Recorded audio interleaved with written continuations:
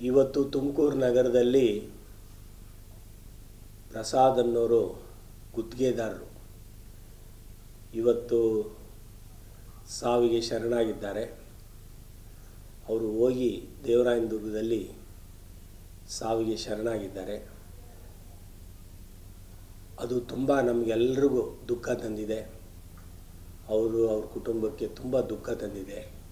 ದೇವರು ಆ ದುಃಖವನ್ನು ಭರಿಸೋವಂಥ ಶಕ್ತಿ ಅವ್ರ ಕುಟುಂಬಕ್ಕೂ ನೀಡಲಿ ಅಂತ ಕೇಳ್ಕೊತೀನಿ ಇವತ್ತು ರಾಜ್ಯದಲ್ಲಿ ಈ ಥರ ಗುತ್ತಿಗೆದಾರರು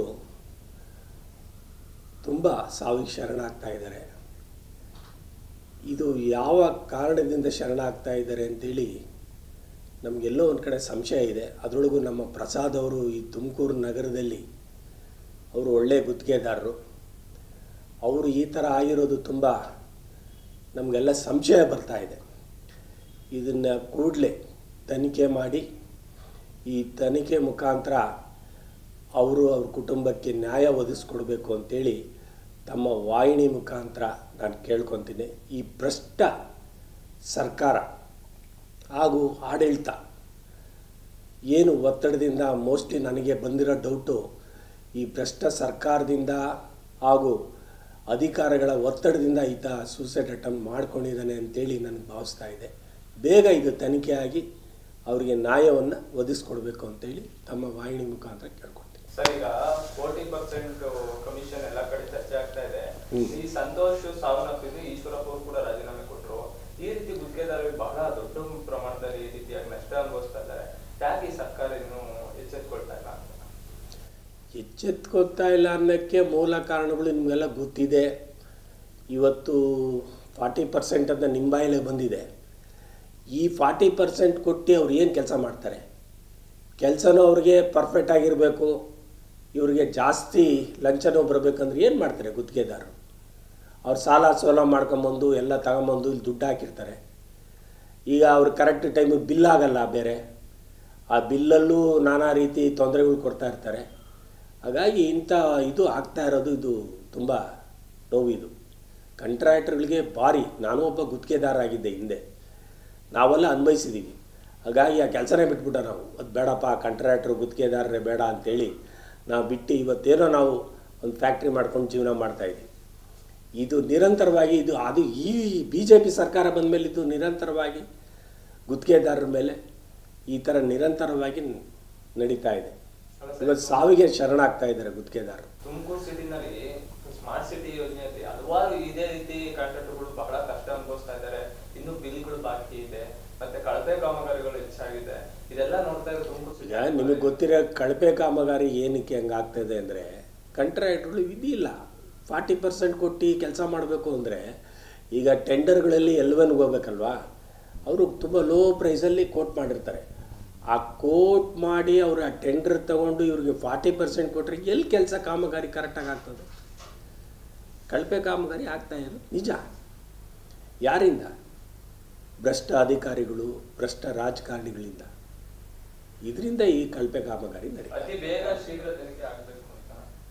ಬೇಗ ಆದರೆ ಅವ್ರ ಕುಟುಂಬಕ್ಕೆ ನ್ಯಾಯ ಸಿಗುತ್ತೆ?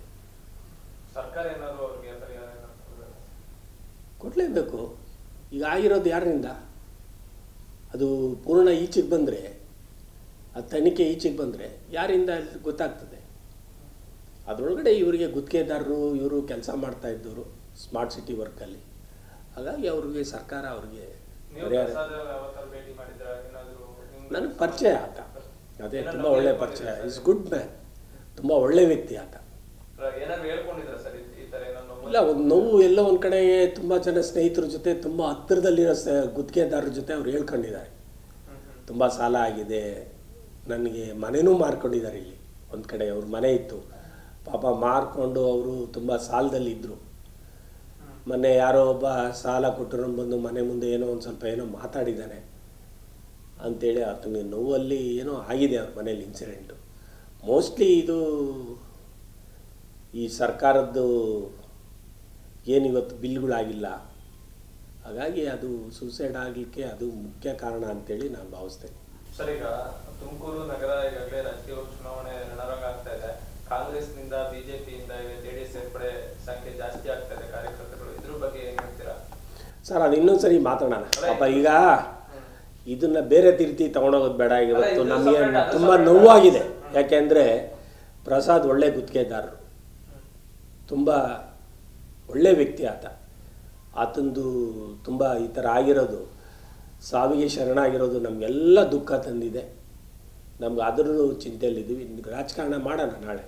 ಇವತ್ತಿದು ಅವರು, ಅವ್ರ ಕುಟುಂಬಕ್ಕೆ ದುಃಖ ಭರಿಸುವಂಥ ಶಕ್ತಿಯ ಭಗವಂತ ಅವ್ರ ಕುಟುಂಬಕ್ಕೆ ನೀಡಲಿ. ಇದು ಬೇಗ ಶೀಘ್ರ ಇದು ತನಿಖೆ ಆಗಿ ಅವ್ರ ಕುಟುಂಬಕ್ಕೆ ನ್ಯಾಯ ಒದಗಿಸ್ಬೇಕು. ಆಮೇಲೆ ಜೊತೆಯಲ್ಲಿ ಸರ್ಕಾರ ಈ ಕೂಡಲೇ ಅವ್ರದ್ದು ಏನು ಬಿಲ್ಸ್ ಇದೆ, ಅದೇನೇನಿದೆ, ಬೇಗ ಬಗೆಹರಿಸಿ ಆ ಕುಟುಂಬದಲ್ಲಿ ಮತ್ತೆ ಯಾವುದೇ ಅವಘಡ ಆಗದಿರ ರೀತಿಯಲ್ಲಿ ಆ ಕುಟುಂಬವನ್ನು ರಕ್ಷಣೆ ಮಾಡಬೇಕು. ಇದು ಸರ್ಕಾರದ ಹೊಣೆ. ಹ್ಞೂ ಈಗ ಸಾವಿಗೆ ನೇರವಣೆ ಬಿಜೆಪಿ ಸರ್ಕಾರ ಅಂತ ಹೇಳ್ತೀರಾ? ಸರ್ಕಾರ ತನಿಖೆ ಆದರೆ ಗೊತ್ತಾಗ್ತದೆ. ಈಗ ನಾನು ಏನು ಏಕಾಏಕಿ ಹೇಳೋಕ್ಕಾಗಲ್ಲ. ನಾನು ಒಬ್ಬ ಜವಾಬ್ದಾರಿ ವ್ಯಕ್ತಿ. ತನಿಖೆ ಆಗಬೇಕಿದು ಬೇಗ ತನಿಖೆ ಮಾಡಿ ಇದು ಯಾರು ಹೊಣೆ ಏನಕ್ಕಾಗಿದೆ